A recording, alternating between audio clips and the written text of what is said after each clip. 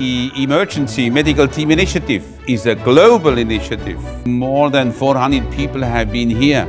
This shows this global character and they are representing about 90 countries and 200 organizations.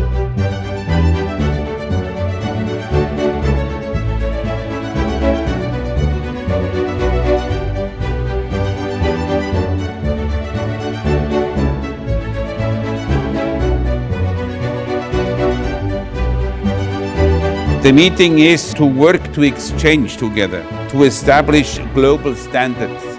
If we work abroad, we must work according to standards and being professional.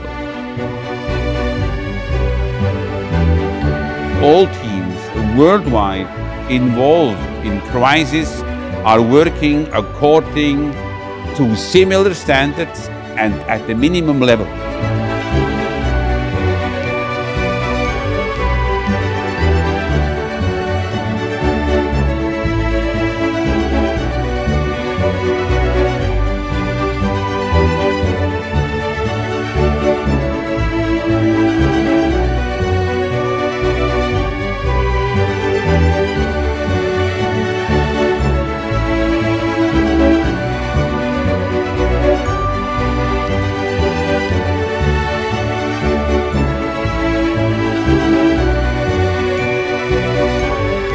I hope that at the end, perhaps 200 teams are well trained, well equipped, qualified, supported by their own country, and of course supported also professionally by WHO.